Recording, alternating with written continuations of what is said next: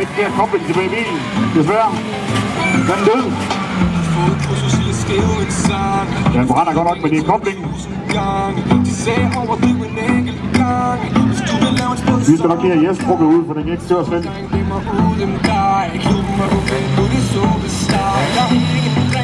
Kim! Vi skal lige have bilen trukket ud. Den må gerne løbes.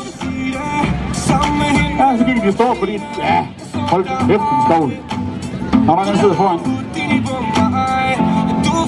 Kom nu videre!